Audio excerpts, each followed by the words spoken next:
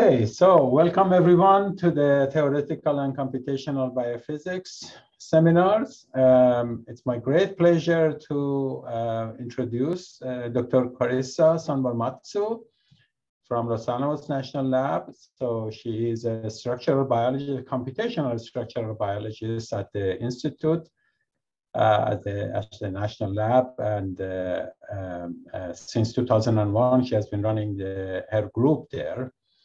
By way of introduction, uh, Karissa received her training in physics from Columbia University initially, and then she received a PhD in uh, astrophysics, actually, uh, from Colorado a few years later. And somehow she got interested in biomolecular simulations, all the way from astrophysics to biomolecules. So um, She's very well known for her work in the nucleic acid domains, you know, really large structures of nucleic acids, including chromatin, ribosome. I remember her talk 15 years ago here in Beckman Institute on ribosome simulation, one of the first ribosome simulations actually. But she also has work on uh, uh, more fundamental problems like protein folding force fields and how they control the behavior of my biomolecules. So we, uh, we have, uh, I would say we share the interest in looking at systems that are cellular scale, like the chromatin, for example, structure and how to study the behavior of these macromolecules um, more closely to, to their cellular kind of representations. Uh, and you, I'm sure you can see this from, from her talk. Um, She's also a fellow of the American Physical Society in 2012 and a vocal advocate of LBG, LGBT scientists. Uh, for those of you who are on Twitter, you, you, you, you have noticed that. And I just discovered from your resume, by the way, that she has a very interesting TED talk that I encourage everyone to listen to about the biology of, ge of gender from DNA to the brain which has um, almost two and a half million uh, viewers, or probably more actually right now. So I encourage everybody to also visit uh, that talk uh, later after the seminar, not during the seminar. So th Karissa, thank you very much for accepting our invitation and joining us this afternoon. And we all look forward to hear more about how to simulate nucleic acids and nucleic acid protein complexes. Please. Hey, well, thank you so much for that uh, great introduction. It's great to be at least virtually back at um, at uh, Illinois, and so um, I'll start my uh, PowerPoint.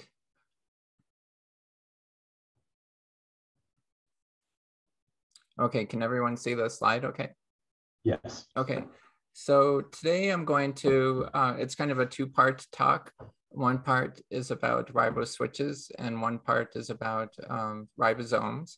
And in our lab, we do a lot on nucleic acids and our overall strategy is kind of to take new technology and apply it to the riboswitches and get it honed there on those small systems and then eventually port it to the ribosome system and also chromatin. And so in the riboswitch systems, um, uh, we I have my own wet lab there since uh, 2008 or so, and so we do a lot of biochemistry on trying to figure out how these small RNAs work. The riboswitches are interesting nowadays in the sense that these are, um, you know, in the untranslated region of the messenger RNA, and there's a lot of interest now in terms of vaccine development for uh, being able to predict RNA structure, mRNA structure, mRNP structure, and understanding how these uh, structures evolve in, in the cell. They, they tend to be a lot more dynamic than proteins, and we'll see that riboswitches uh, basically have two completely different, the same sequence as two completely different secondary structures and tertiary structures. And then in terms of ribosomes, um, I'll, I'll, talk a little bit about some of the older stuff in explicit solvent, and lately we're mostly doing uh, structure-based um, native contact models on ribosomes and what we're learning about tRNA moving through the ribosome. Okay, so first I'll tell you about riboswitches. So uh, as I mentioned here, we have one sequence that can have two entirely different secondary structures. And so if you're not an RNA person, these are the typical uh, 2D diagrams for RNA.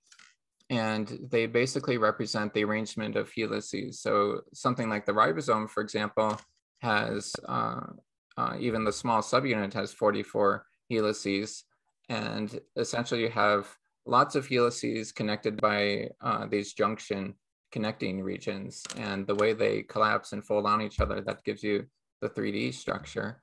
Um, and so this is just showing the 2D diagram that gives you kind of the map of how the RNA is laid out. So in this, uh, the main system we've been working on is the SAM1 riboswitch, which binds the metabolite S-adenosyl methionine. And the aptamer, and uh, uh, some other jargon is that aptamer means the piece of the RNA that binds the ligand. And, uh, and also in terms of the terminology, riboswitch technically is something that binds a small molecule. And, and that small molecule uh, has the effect of changing the, the structure and controlling gene expression. And so in this case, we have the aptamer, which is four helices, and then uh, uh, on apart from that is this uh, terminator helix, which acts to terminate transcription and shut the gene off. On the other hand, if the uh, metabolite is not present, it forms this other secondary structure. Uh, in, in that case, the terminator is not formed and then gene expression is allowed to go. And this is the basic principle of how a transcriptional riboswitch works. And nowadays, the big pharma companies are racing to get it to be able to predict RNA structure. They're really building out their RNA teams and trying to um, learn more about RNA structure, function, folding dynamics, and everything. Uh, so for the SAM1 riboswitch, um, one of the most basic results in, in many of the riboswitches is that they tend to be very uh, extended and open. And then as you um, titrate in their ligand, then they collapse quite dramatically. And you can see this in a simple um, EMSA assay and also in small angle X-ray scattering. Uh, here for the SAM1 riboswitch, we can see uh, significant compaction as you add in the metabolite uh, shown in light blue and also as you add in magnesium uh, here in red and also light blue. And, and another theme in RNA for people who aren't RNA people on the call uh, that uh, magnesium is always a key player in almost every RNA system. And the question is always, how does the magnesium impact function and, and the fold of the RNA? And so in our, in a lot of our experimental efforts, um, nowadays we're doing cryo-EM, but in the early days, we were pretty much only doing biochemistry and we were using a lot of some of the different chemical probing techniques available. And this is a nice technique that you don't really see in proteins at all. And, and these techniques allow you to basically figure out the mobility of a single residue. And you can, and you can map out the residues of the whole system one by one.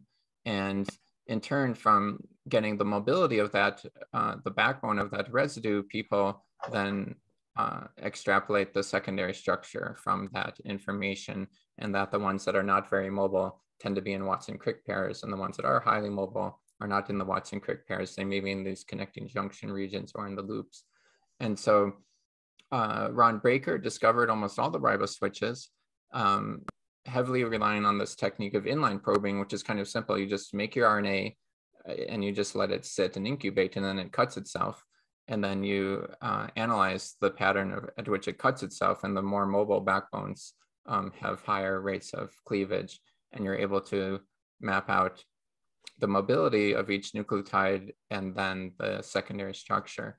And then in 2005, Kevin Weeks from North Carolina came out with the selective 2' prime hydroxyl acylation analyzed by primer extension. And this is a similar uh, uh, assay in that it gives almost the same information, but it, you can do it a lot more quickly in only a few hours, and it tends to be a little bit more precise. And here you add in a reagent um, in the early days it was 1M7, but now Howard Chang and um, many other folks have developed all kinds of other reagents uh, to use. But the original one, 1M7, it uh, attacks the 2' hydroxyl on the backbone and forms covalent bond only if it's um, highly mobile.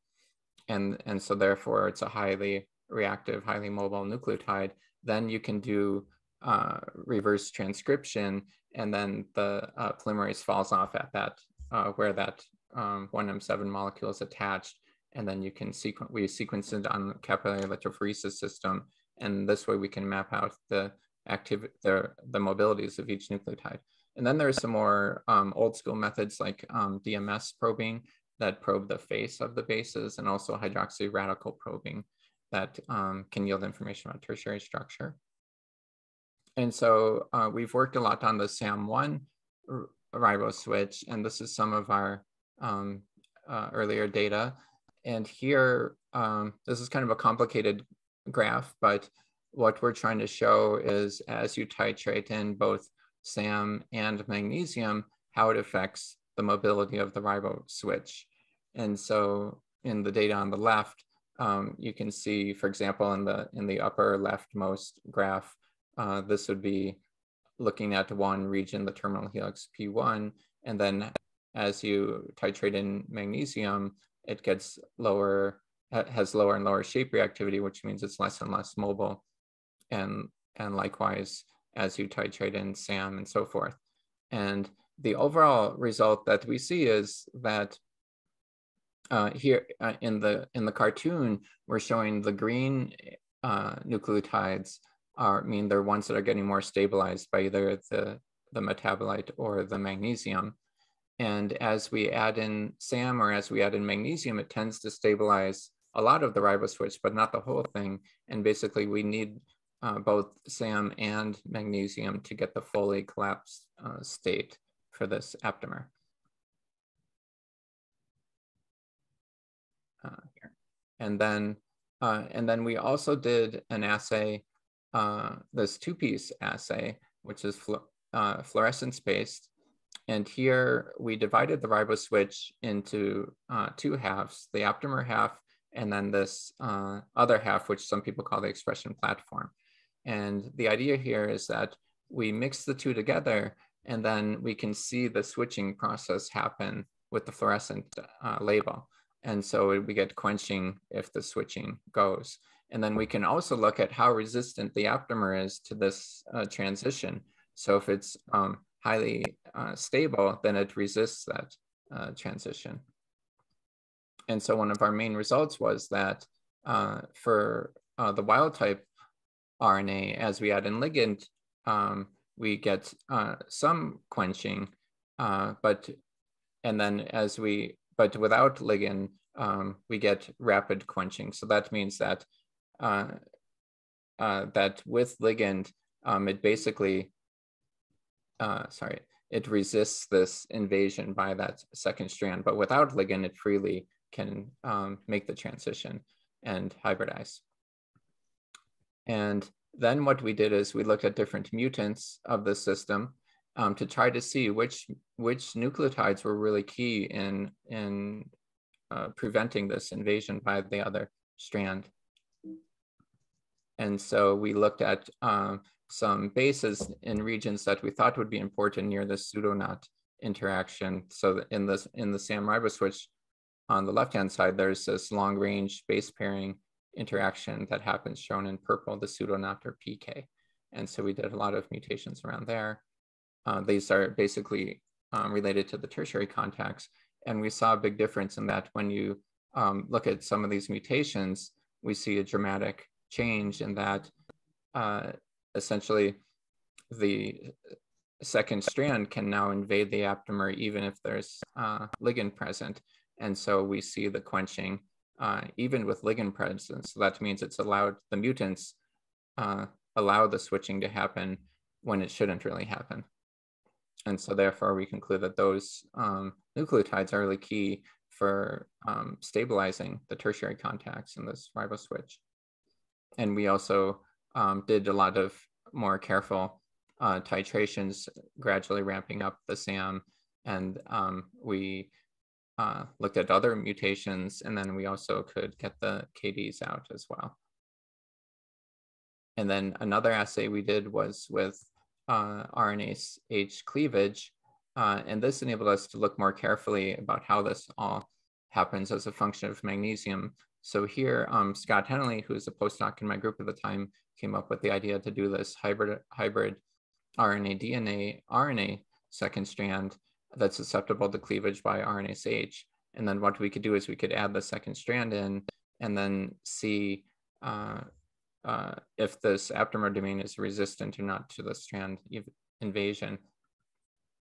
And so here uh, we show in the in the upper panel that as you put in more and more magnesium, uh, you get uh, a, a, shift from the cleave to the uh, uncleaved, for example. Um, so what that means is that as you add in more and more magnesium, it's stabilizing the aptamer and preventing the strand invasion. And then we could also look at these magnesium one half values and see that um, SAM modulates the magnesium effect and that there's some cooperativity between the ligand and the magnesium and how they uh, control the switching of this riboswitch. Okay, so those were um, some of the experiments we did. Now I'm going to talk about some of these native contact uh, models we've been using to simulate riboswitches. Uh, and so this is uh, mostly in collaboration with um, Jose Onuchic at uh, Rice University. And so here, uh, in terms of the structure-based models, I'm just trying to see that. I can't quite see the title of my slides, but uh, in terms of the structure-based models, uh, these are atomistic in detail. Uh, they're uh, knowledge base, um, and now we have uh, electrostatics in the models, and we do a lot to try to validate these against different experiments and they allow the breaking and forming of different of uh, contacts and so forth. And this is what one of our um, typical potentials looks like. Uh, this is an all atom structure based model. These look like um, similar to a regular MD, although uh, it's uh, essentially the zero points though are defined by the native contacts, such as a crystal structure or an all atom model that you uh, input initially. And so but they do allow you know large scale conformational changes uh, breaking of contacts and so forth. And then in terms of uh, uh, the ions we're including explicit uh, magnesium and uh, implicit potassium and then we do this with essentially uh, Debye-Huckel potential that includes Manning condensation effects uh, you have to excuse me. My, the, there's a plumber here now, so there may be some unusual noises happening in the background. Um, so in terms of the advantages of the structure-based models, um, we can simulate uh, spontaneous large-scale conformational changes. We get a lot of sampling, uh, but one key thing is that it preserves the uh, stereochemistry. And these models were used, as, as most people on the call know, I think, to in the early days of protein folding to try to work out the uh, folding funnel framework. And there you would start with a disordered uh, protein and just run it, uh, having it undergo thermal fluctuations until you gradually accumulate more and more native contacts finally to get to the full fold. And then you could try to analyze the transitions along the way. And then these, so these are not the same as uh, implicit solvent, and they're not harmonically restrained or constrained these are atomistic in detail. And here we're not really doing much force field development or structure prediction. The idea is that it, in, in a lot of the stuff we do, if you have two sort of A and B states, how does the system get from one state to the other? And what does that look like? And so um, I'll, I'll, play the movie on the left first, um, which is one of our simulations of the SAM1 riboswitch folding. And we start this out in a disordered conformation. And then as you run it, more and more uh, native contacts form. And then until eventually you can get uh, the full folded state. And this allows you to look at things like the order of helix formation, uh, how the ligands uh, affect that, and also how magnesium affects that and so forth. And uh, the, the analogy I was drawing here was with this um, skydiving team. This was Skydive Chicago, by the way. And the idea here is that, uh, you know, sometimes this movie doesn't play to the end, but I'll let it go to the end. Um, so sometimes, so so the analogy here is that these skydivers are uh, jumping out of this plane, and and as they jump out, initially they make kind of random interactions with different people on the team, but eventually they find their partner. Once they find their partner, they lock arms, and that partner, um, that connection sticks. And so then over time, you can get these very complicated um, structures happening uh, from from accumulating more and more native contacts. Okay, so some of the validation uh, results we had here were on the, uh, we looked at the adenine riboswitch, and these showed good agreement um, with uh, some data from David Draper's group on preferential interaction coefficients, which is sort of a measure on um, how many ions condense onto the RNA, uh, and also for the SAM1 uh, riboswitch as well. And uh, then here, uh, we were looking at the um, fragment of the beet western yellow virus pseudoknot region, and we got um, good agreement here. If you look at the, uh, the solid black curve is the experiment, and then our simulations were the black uh, disks. And then uh, another thing we we did uh, is to not not directly related to our sort of our mechanistic studies, but we uh, put together an algorithm to sort of tune the uh, native contact models to the shape data. And so what we did is we um, we used a way we we came up a way that to scale the experimental data to uh, and then use that to scale the uh, contact strengths. And so doing that, we got pretty good agreement um, without SAM. And with SAM, this was showing basically a, a number proportional to the reactivity for each nucleotide. And then here, and also you can look at melting curves for every nucleotide or for regions of the riboswitch. And here we are looking at um, comparing experiment and simulation uh, for the one junction on the riboswitch as well.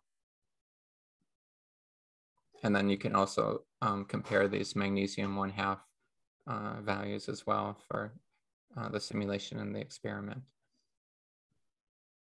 Okay, so and then and then finally, there's some more validation results on the SAM2 riboswitch, where um, here we worked with Kwaku Dayie's group at Maryland who took SAXS data, and we got nice agreement uh, with the SAXS data there.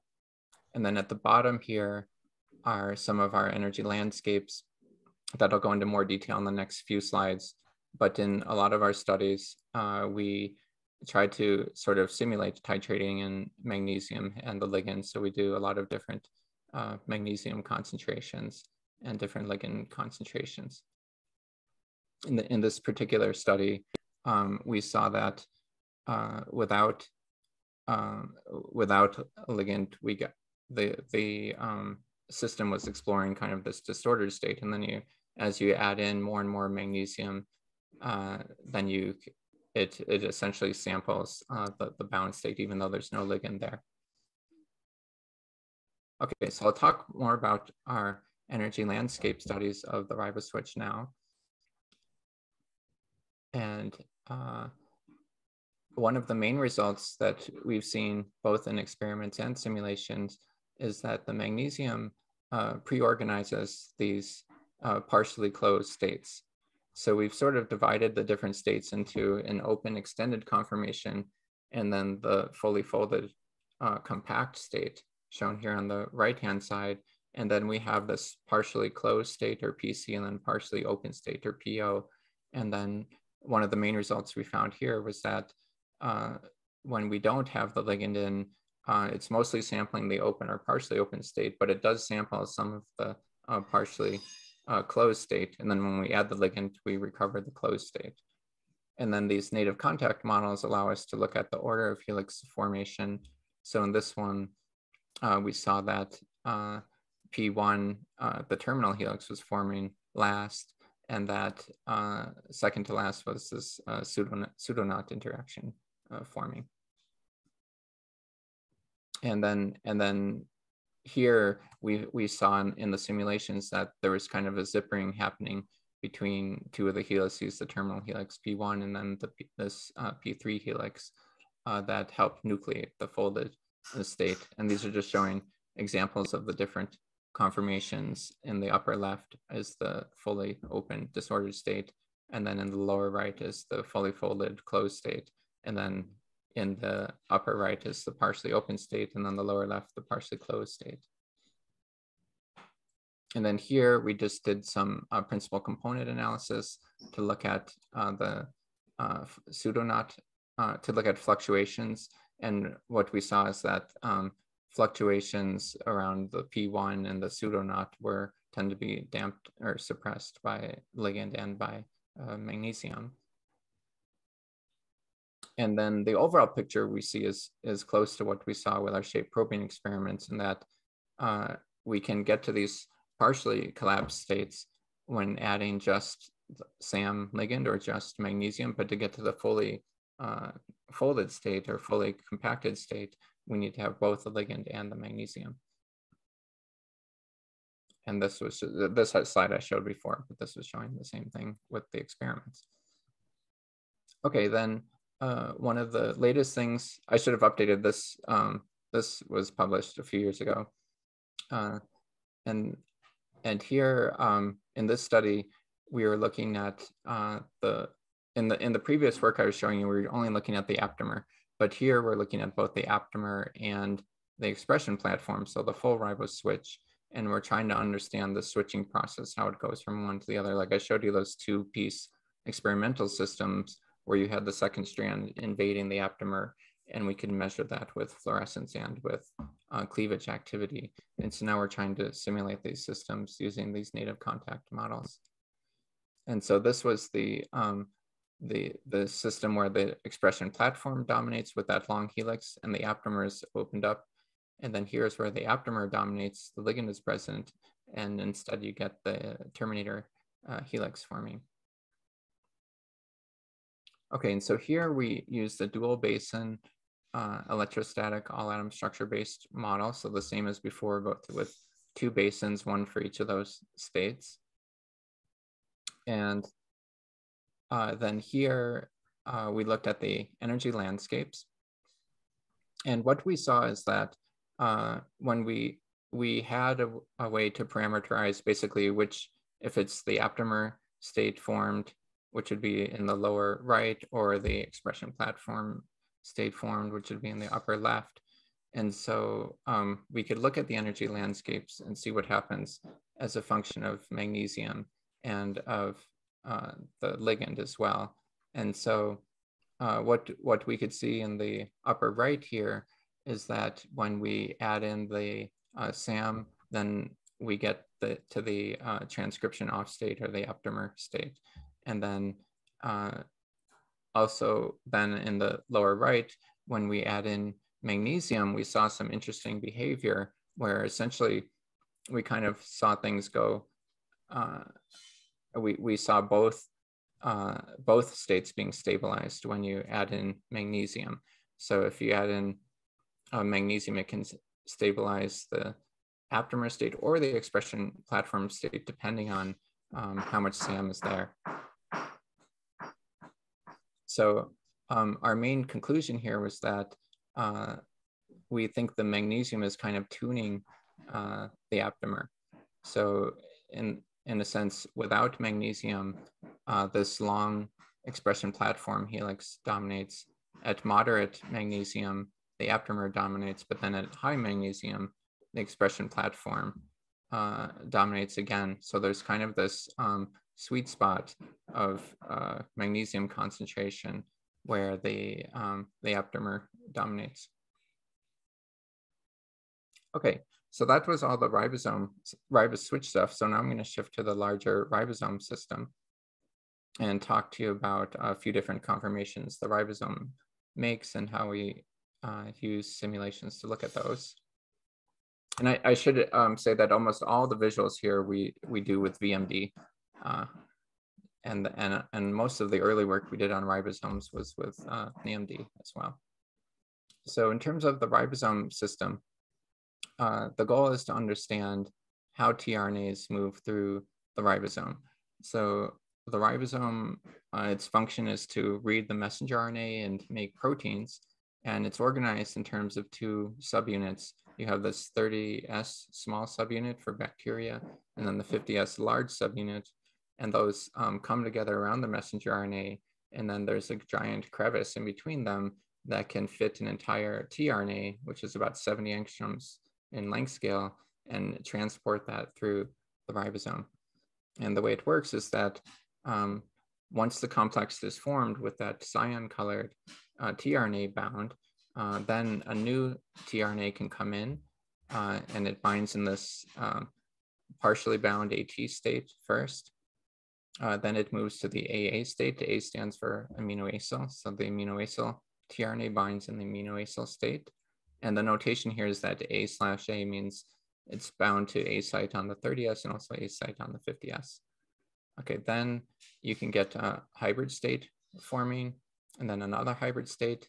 And then finally, the whole uh, tRNA, mRNA complex can move. This is called translocation. And, uh, and this is a very simple model that Harry Noller put out in the late 80s, but now with all the new cryobiome coming out, there's probably maybe 20 intermediates along this pathway. Okay, and then this was um, some of our original ribosome work that we did using NAMD and VMD. And in this uh, older study, we looked at the movement of the yellow tRNA into the ribosome, and this is called accommodation. And so here we used a simple method called uh, targeted MD, which uh, basically decreases the RMS to the target as a function of time using Lagrange multiplier constraints. And uh, this was nice in that it allowed us to map out the interactions the tRNA makes with especially the large subunit uh, during the process of accommodation. And uh, a lot of uh, several experimental studies have subsequently validated these simulations and uh, and they've also uh, generated new targets for antibiotics as well. And so here we can see this yellow tRNA come in through this accommodation corridor. And uh, this study, it, it, it enabled us to kind of, um, like you could kind of say that you could see all this just by looking at the beginning and end structures, but it's not so easy with something as complicated as the ribosome. And then another comment to make is that the targeted MD method is quite simple, but because it's such a narrow crevice, there's not too many places that the tRNA can go. It's basically just a way to um, sort of structurally model each, each state and look where the interactions would be in terms of structural modeling. And, um, and so this was this accommodation corridor, uh, Helix 92, and this is almost entirely universally conserved that allows the CCA end to make its final uh, trip to, the, to its destination. And then as you zoom around, um, one of the nice things about this is that uh, it enables you to get the crystal structure when you're finished.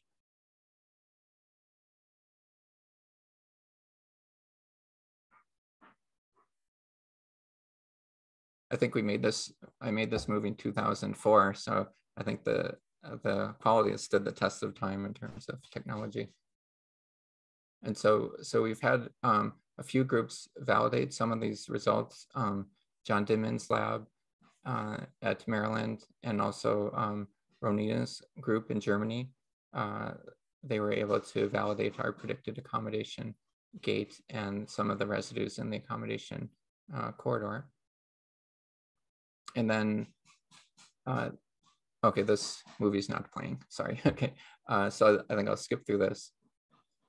And um, uh, so then uh, I'll show you um, some results we have from these structure-based models or the native contact models. Uh, and we've been using these models to really get at the different um, conformational changes that happen. Uh, so here, uh, we are doing comparison of sort of four methods on the left side is this uh, unrestrained all atom Go models or structure-based models or native contact models uh, versus uh, unrestrained uh, explicit solvent. And what the native contact models allow you to do is kind of see what the uh, amount of sampling is required to do really. Um, so it's a way to kind of validate uh, explicit solvent. And then so in color here are the uh, native contact model, native contact simulations, and then in gray is the explicit solvent. And even with um, close to a microsecond of sampling on the full ribosome, um, we barely sample much of that energy landscape. Uh, and then on the right-hand side, uh, we're looking at um, the targeted MD native contact versus targeted MD explicit solvent. And um, this allows us to kind of uh, have some kind of check on the validity of the native contact force field during transitions. So here, the native contact force field is um, shown in color, and then the explicit solvent is shown uh, with these traces. And then uh, as we um, look at that uh, transition, uh, we were able to make some contact with um, single molecule FRET data. This is data from Scott Blanchard's group, who's now at uh, Tennessee. And, uh, and we could see at least we got the right qualitative uh, effects of the reversible excursions of the tRNA kind of going into and out of the ribosome that they would see in the single molecule FRET. Okay, so now I'll talk about uh, structure-based simulations of ribosomes in terms of uh, translocation of the tRNA through the ribosome. And uh, translocation is a uh, very, much more complicated conformational change than accommodation. And so here, uh, there, there are many different substeps that happened.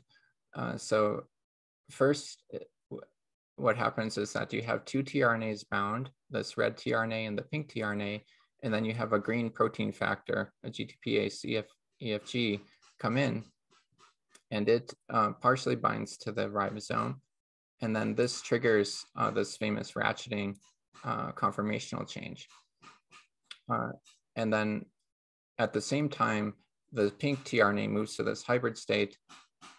And then as we keep going, uh, we get a second conformational change called uh, head swivel. And in this conformational change, the head region of the 30S uh, rotates. And so here, uh, at the same time, the red tRNA moves to this uh, hybrid state. And then finally, then we can go to the post configuration where things basically relax, the head unrotates and the body unratchets. Okay, so see if this movie works. Oh wow, this movie's not working either. Okay, I think I have the wrong slide deck. uh, yeah, none of the movies are really playing here. Okay, I'll just keep moving along. Okay, so some of the um, analysis uh, we see is that uh, uh, we can we can repeat our analysis for the accommodation conformational change uh, that we did for the um, hybrid state formation. And so uh, we we were able to identify a new um, hybrid state formation corridor that's almost univer that's universally conserved, uh, similar to the accommodation corridor here that essentially is used to transport the CCA end of the tRNA um, from one state to the next. And then also, we were uh, able to look at the energy landscapes again and uh, uh, see uh, how where the barriers are, and we were able to come up with good um, order parameters to characterize uh, these transitions. Okay, this was an older slide, sorry. Uh, okay, so that with that, um, I think I'll wrap up. I'm sorry that some of the movies didn't play. It's been a crazy day today. Um, but I wanted to say that um, we have a new structure-based uh, model that includes electrostatics. Uh, we, um, in terms of the riboswitches, we see that the pre-organized riboswitch state allows for switching and that the SAM1 riboswitch is tuned to switch at different physiological concentrations for magnesium. And uh, we're putting forth this kind of new view of the ribosome in terms of a stepwise uh, procession of through the cycle uh, using conformational selection. And I'd like to thank all the people who did the work for the Ribo switches, Scott Hennelly, Susmita Roy, Ryan Hayes, uh, our collaboration with Jose Onuchic, and for the ribosomes, um, Wataru Nishima, um, Serdal Altan, uh, Paul Whitford and our collaborations with Scott Blanchard and Christian Spahn. And thank you for your attention. Thank you very much, Karissa. Very nice, uh, as usual. Uh, so now the talk is open for questions. Uh, let me actually start. I've been, throughout my career, I've been scared of nucleic acids because of the counter ions.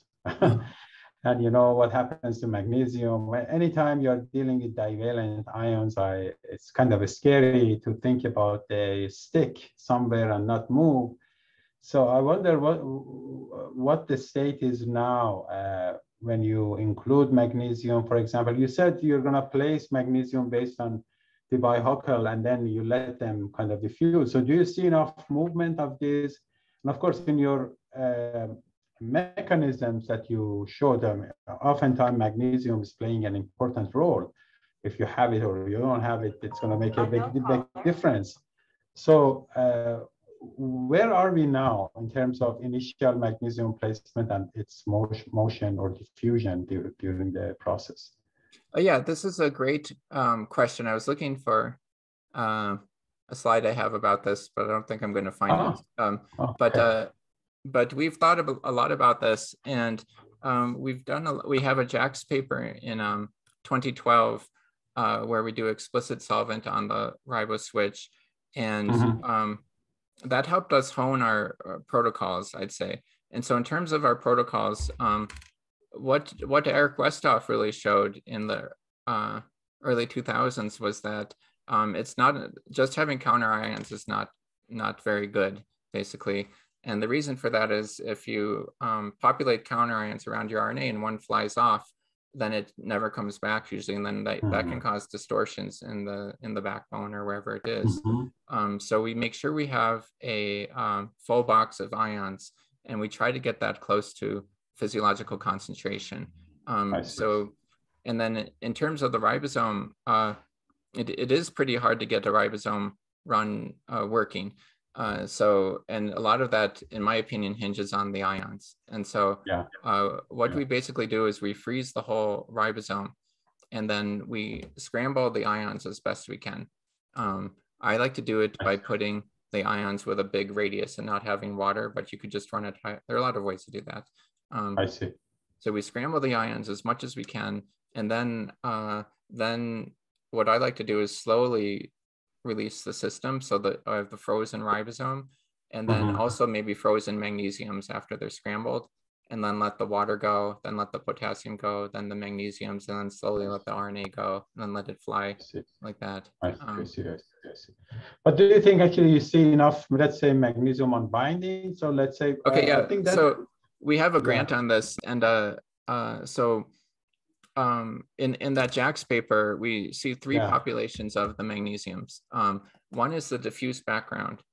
The, the other one, which is what everyone knows, the chelated ones that are stuck.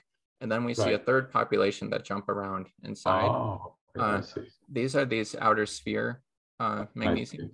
And um, so we find that within like 10 microseconds, you have enough to sample that mid intermediate population, but not enough for the bound magnesiums. Mm-hmm. Um, mm-hmm. So we're working with the GO models now. We're working on models to kind of simulate water exchange in the ter- or magnesium binding unbinding, you know, oh, just to mimic it. Um, I but, see, I see. But um, for explicit solvent, there's a few groups out there like um, um, Alessandra Villa in um, in Stockholm uh, and there's mm-hmm. one or two others. Um, Dave Case is working a lot on this as well, um, mm-hmm. coming up with better uh, magnesium force fields and explicit solvent. Um, I think we're getting close. Like I would say, you need maybe 10 milliseconds to uh, mm-hmm. sample it, 10 to 100 milliseconds. So we're getting mm-hmm. close. I think pretty soon we'll we'll be there to just sample it. You know, but for the time millisecond, being, millisecond or microsecond million, 10 millisecond, I'd say. Yeah, 10 millisecond. Okay, I see, I see, I see. Is what you need. Wow. Um, but the but people are coming up with a few tricks nowadays to do it with microseconds. So yeah. I see, I see, I see. Oh, gotcha, gotcha, gotcha. Very, very interesting. So actually, uh, uh, I have a second question, but let me first see if there are other questions among the audience. If you have a question, you can physically raise your hand or yeah. Zoom raise your hand or uh, or just start talking. Actually, you can. So then uh, this is actually probably a general question for all these Go kind of type models.